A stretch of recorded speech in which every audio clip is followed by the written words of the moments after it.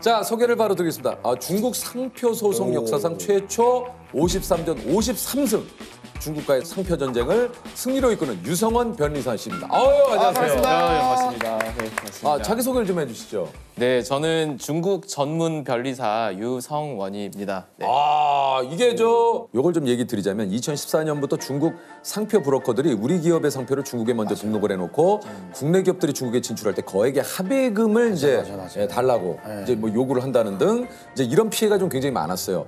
근데 2018년 특허청이 피해를 당한 우리나라의 53개 기업을 모아서 공동 소송을 지원을 했고요. 유성원 변리사님이 53개 기업을 대리해서 상표 무효 공동 소송에서 전승을 기록해서 중국에서 국내 기업들이 지식재산권을 보호받을 길을 열어준 분이 바로 아 우리 변호사 변리사님입니다. 와, 어우, 와. 여기에 이제 어, 뉴스에 굉장히 많이 나왔던 맞아요. 소식이죠. 와, 근데 저도 이제 뉴스를 통해서 봤는데 어떻게 그렇게 글씨 하나 틀리지 않고 똑같이 예. 네. 완전 뭐 그대로 베끼죠, 그냥. 그러니까요. 네. 설 빙 같은 브랜드. 어 그거 좀 어, 굉장히 뉴스에 많이 났어요. 네, 그 브랜드는 이제 심지어 뭐 그 직원들 이제 입은 유니폼, 아. 그 다음에 거기 쓰이는 뭐 냅킨, 진동벨, 뭐 이런 것까지 완전히 똑같이 완전히 똑같이. 네, 베껴서 그게 마치 자기네들 것인 것처럼 이렇게 이제 프랜차이즈 사업도 하고 매장도 그랬었죠. 몇백 개를 낸 걸로 네. 제가 알고 있거든요.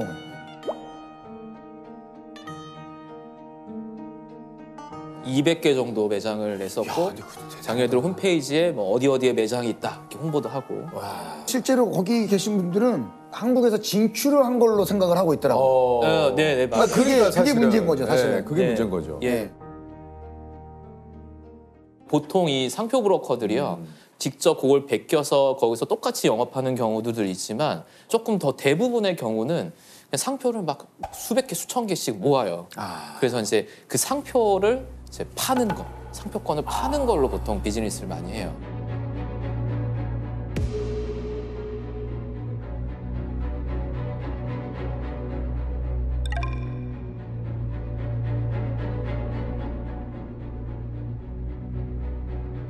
상표 브로커들이 보통 한 건에 중국에서 상표 출원을 해서 등록받는데 한 20만 원에서 30만 원 정도 들거든요. 네.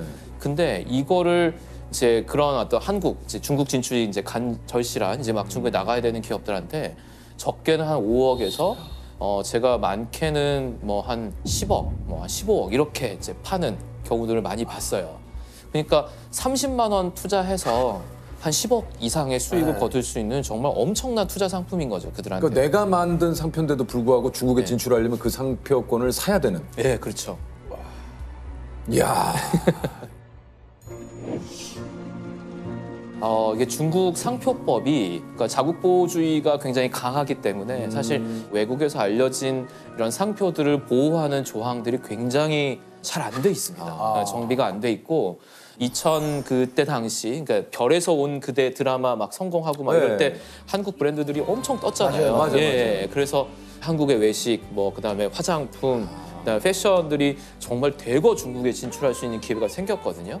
특히 그 전지현 씨가 그때 뭐 아 비 오는 날엔 치맥이지 뭐 치맥. 이런 아, 이런 대사 맞아요. 있었잖아요. 그러니까 정말 그 차가운 맥주를 절대 안 마시는 중국 사람들이 맞아, 맞아, 맞아. 이 아, 그 그래요? 예, 치킨의 맥주를 마시러 맥주를 마시더라고요. 예, 예, 그거 마시러 막 올 정도로 이 한국의 외식 브랜드들이 굉장히 떴어요.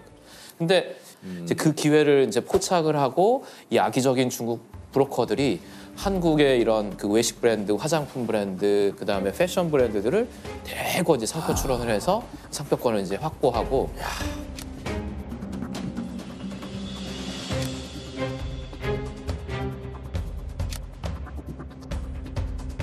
말하자면 이제 랜섬 비즈니스라고 하잖아요. 이렇게 볼모를 잡아갖고 너 이거 돈 안 내놓으면 너 중국에서 비즈니스 못해 이렇게 이제 한 거죠.